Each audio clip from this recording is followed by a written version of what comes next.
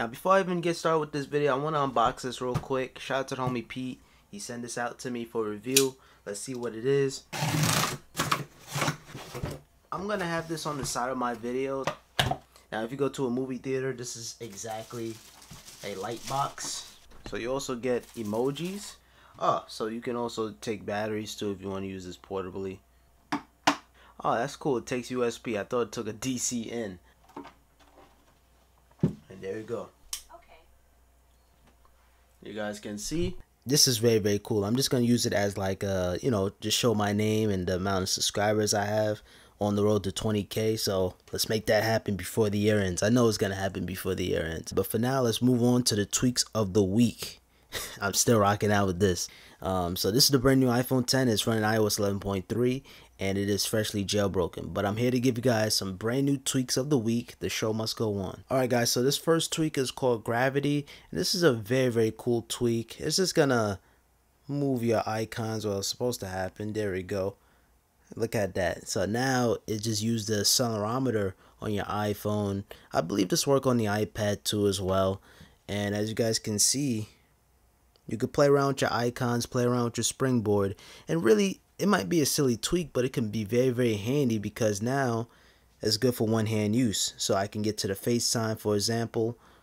Um, I can get to the podcast. So very, very easy access to the apps. Now this next tweak is called Chroma Home Bar X or 10 I should say. Chroma Home Bar 10. And all it is is going to animate your your home bar on the bottom. You can actually configure some of the settings. Um, so you have the spectrum, you have uh, the wave. I think wave is probably the coolest one. Um, it it does require you to respring, but really you could just exit the app, get back in, and now it's back to you know it applies the settings so wave is pretty cool it just cycle through all the colors in a nice little wave form so you can even uh, change up the animation intervals a lot of settings to configure here now this tweak is called ss gestures now ss gestures you take a screenshot let's say you accidentally took a screenshot right you didn't mean to do that now you can just swipe to the right side and that screenshot is gone so now it's not saved into your camera roll. So that's pretty cool. And if I just do it again, and I don't know, swipe it on the other side, it'll save. Whoa, that's kind of like a crazy effect there. You have a picture of the the photos, um, the camera roll, now this next tweak is called Tap Tap for Netflix. If you love to watch Netflix on your iOS device, this is gonna be a must install.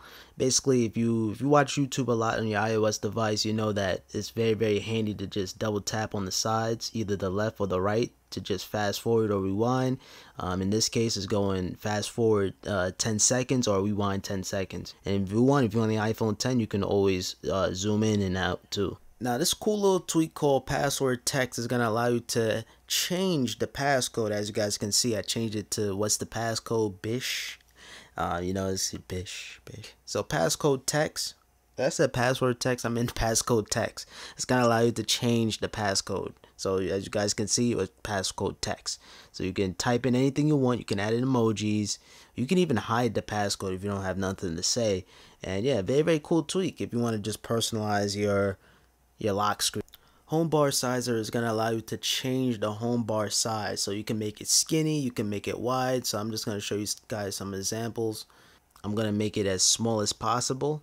You don't really have to respring. Although it is recommended, you could just swipe up and then go back into the app. And now you guys can see the changes take effect. So it's very, very tiny. You can't even see it. At that point, you may as well just remove it. As you guys want, you make it extremely wide, but make it very, very thin, though, in terms of the height and then now you're gonna have something like this. Very very minimalistic and then you can have something really thick.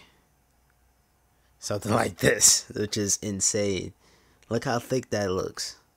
And just find your sweet spot overall and that is called home bar sizer. It is free.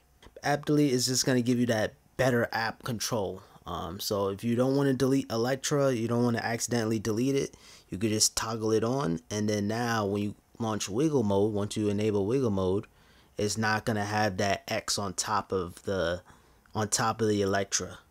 Um, I hope you guys can see. I know the gravity tweak is taking effect, but there's no kind of X on the Electra because I set it to that um, you know app delete. Now this next tweak is called Wish Dia. I hope I'm saying that correctly. And all it is, basically, you have a wish list in Cydia. So now this little booklet, I have all the tweaks saved. So these are all the tweaks that may be featured on this video. Certain tweaks didn't work out for me. And yeah, I just have a wish list of all the tweaks. So if you want to add anything to your wish list, let's say for example, I want to add, uh, I don't know, Eclipse. So I can add Eclipse. I can just tap on the book or the favorite.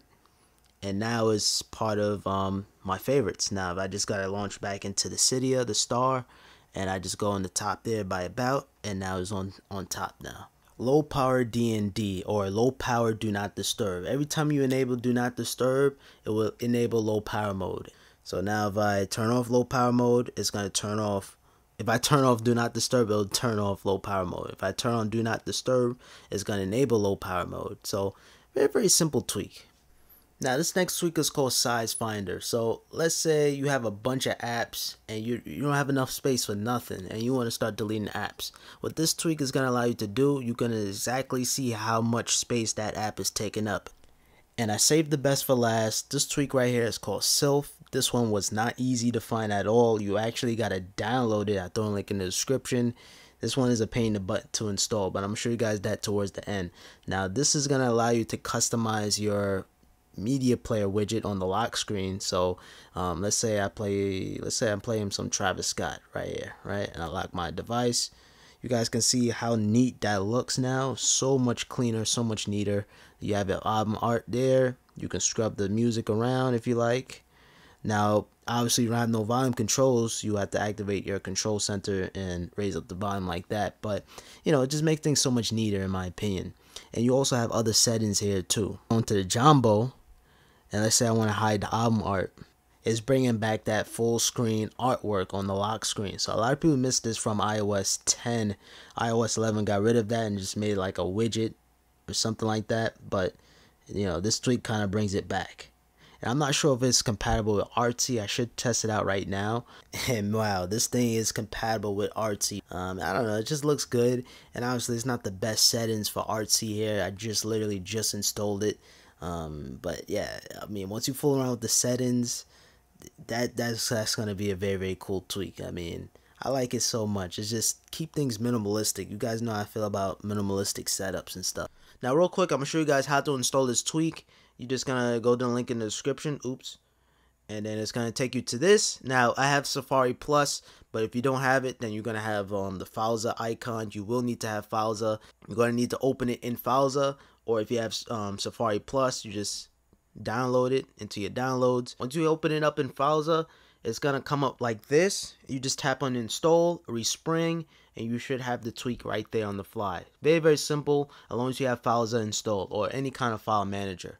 And Alright guys, that concludes this week's Tweaks of the Week. Um, I apologize, this week is weak, weak, and weak on the weak side, like not strong. I mean, I'm just now getting back into Cydia now. But I really do appreciate you guys watching and supporting me. And if it wasn't for you guys, I would never ever buy another iPhone 10. I would have waited like everybody else. But the best thing to do is just, I don't know, just search for an iPhone. If it's sealed, look up the serial number, ask for the um, serial number, and I'm going to throw this link in the description. You can look up the serial number and then you can see if that device is on a jailbreakable firmware. So, yeah, that's what I did. This iPhone was sealed, it was completely new, and I looked up the serial number and I saw 11.3, and you know what? I did it.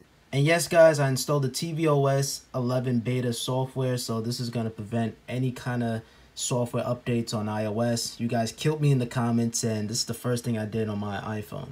Thank you for that. I mean, I know about this, but once you're on the jailbreaking side or the jailbroke side, um, it's going to automatically block all updates. But as you guys know, my iOS device crashed and went to normal iOS and it just updated.